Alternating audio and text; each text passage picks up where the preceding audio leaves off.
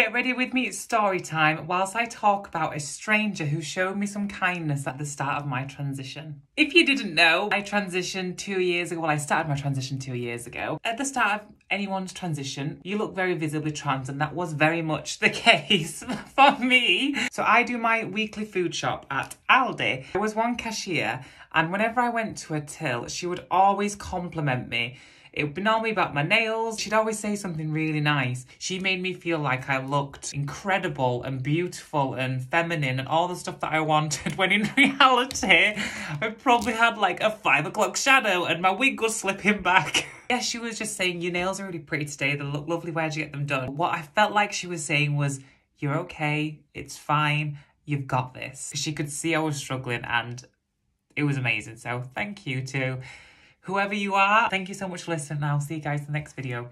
Bye.